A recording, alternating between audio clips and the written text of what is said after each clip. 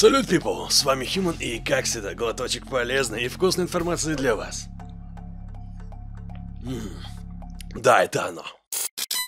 Сегодня, друзья, мы с вами поближе посмотрим на RTX, флагманскую видеокарточку будущего от NVIDIA 4090, как она выглядит изнутри и что там по охладу. Посмотрим, как AMD начинает мозолить очко...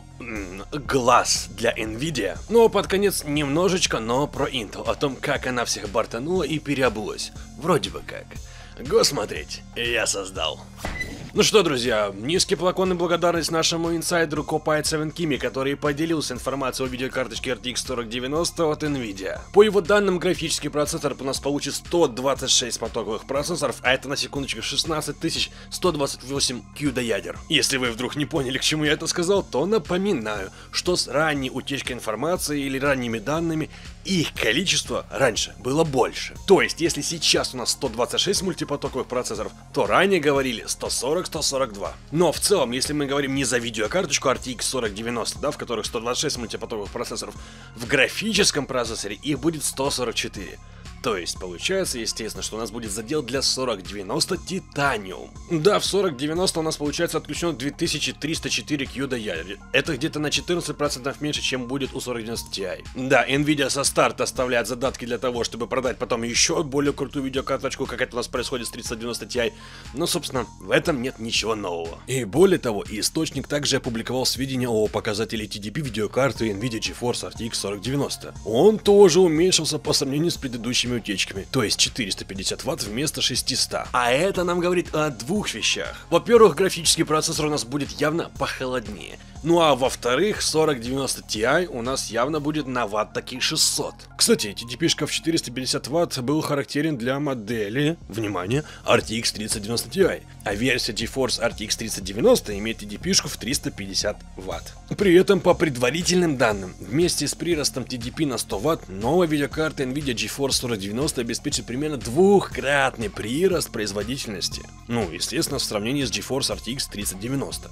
Да, я знаю, друзья, те, кто особенно смотрит меня на постоянной основе, я уже не раз говорил о том, что, ну, это очень-очень популярная информация, что видеокарта будет в два раза мощнее, да?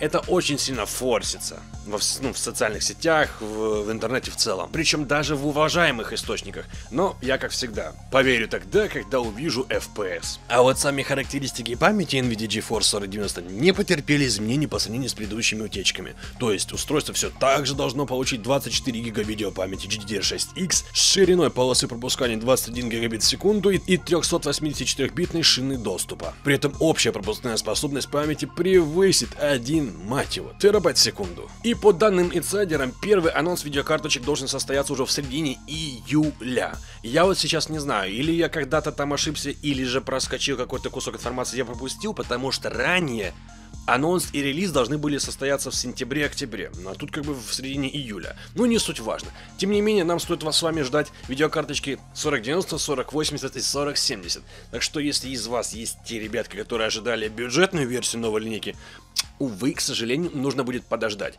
По старой информации, то, что я помню, она должна выйти вообще в декабре. И для любителей скидок игр и софта. На сайте CDK Offers можно купить винду со скидкой. Добавляем в корзину, вводим промокод HUMAN для доп скидки. Бум, цена еще ниже на 20%. Оплачиваем через любую удобную систему, вводим ключ, пользуемся, профит. Все ссылочки в описании. Итак, Грейман нам еще информации подкинул.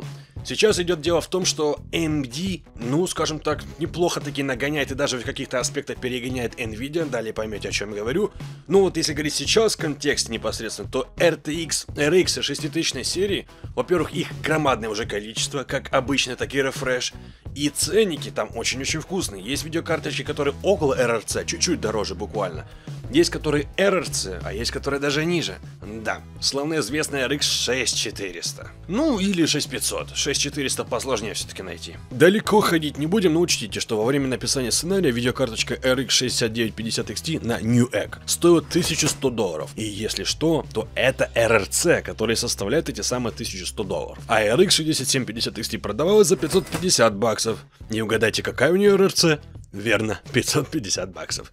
Идем далее и видим младшую модель в лице 6650 XT и кабум! 400 баксов в магазине и 400 баксов РРЦ. Но, ребятки, давайте справедливости ради все-таки сделаем ремарочку. Это цена актуальна именно для карт от AMD. Их, скажем так, собственного производства. Давайте назовем их Founders Edition от AMD. Если мы с вами говорим за кастомные видеокарточки от партнеров, естественно, они будут дороже. Ну, потому что там, во-первых, это и партнеры, то есть им надо наценочку какую-то делать. Во-вторых, там плата может немножко что-то отличаться, охлад будет по-другому, больше вертушек или там, я не знаю, радиатор другой, или разогнано с завода уже по чистоте и так далее.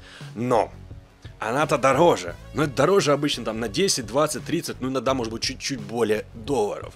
Это не X, это не плюс 100 или плюс 200 баксов. Да, барыги. И, кстати, наши с вами друзья с ресурса IT, если мне не изменяет память, это VCCF Tech, ну, не суть важно, в общем, ребята с Запада, провели им такое интересное исследование, небольшую аналитику о том, что AMD начинает потихонечку, но откусывать рынок графических процессоров у NVIDIA. Да, само собой, не семимильными шагами, но по чуть-чуть, и это хорошо, это прогресс. И вопрос не только в цене, ведь на днях главный архитектор игровых решений Фрэнк Элзер рассказал и показал, насколько Big Navi лучше, чем RTX RTX 3000 серии Ампер, ну в целом, с точки зрения производительности на 1 доллар. Про лучи, конечно, никто ничего не говорил, но с другой стороны, опираясь на ваши комменты, большинству они и не нужны. Пока не попробовали. Но, друзья, несмотря даже на рыночное ценообразование, Nvidia по-прежнему на том же ресурсе Newegg, очень популярный ресурс, занимает все же позиции топ-50. Ну, топ-50 лучших видеокарточек на Newegg. А вот AMD в топе занимает всего лишь 18 и аж 46 место. Это касается видеокарточек 6700 и 6600 XT-шки.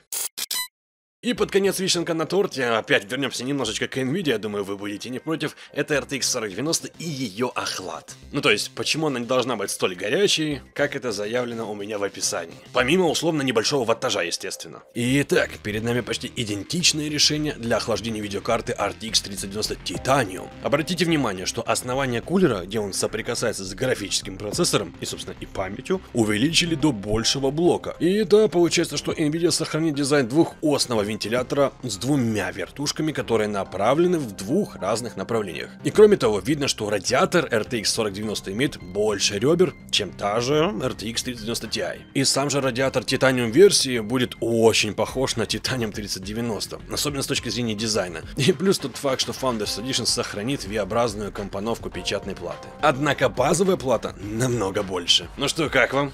Напишите пока в комментариях, что вы думаете об этом грядущем звере, но я пока плавненько и приятненько перейду к картам Intel. Буквально недавно я вам говорил, что Intel должна запустить свою технологию XS, это, скажем так, аналог DLSS, только интеловская, в определенной игрушке уже вот-вот-вот. Но этого не случилось. Игра Dolmen, если что. Если мы возьмем за правду, что Intel действительно должны были запустить этот, э, эту технологию в этой игре, как одна из первых, но не сложилось, хотя Забегая наперед, скажу, что они официально прям не говорили, что в этой игре вот прям в день в день будет, в патч первого дня. Но допустим, если это так, то представьте, какое количество людей Intel подставляет. Это инвесторы, это разработчики игр и программ каких-то, это кто у нас остается? Инвесторы, геймдевы. Естественно, да, это у нас еще и партнеры. Ну, то есть сколько ноутбуков было впихнуто уже в видеокарточки Intel, а еще иногда они сразу же идут и с процессором Intel. Я когда-то вам рассказывал эти подковерные игры, когда Intel сыпала бабло определенным партнерам и компаниям, того, чтобы те впихивали именно их железо.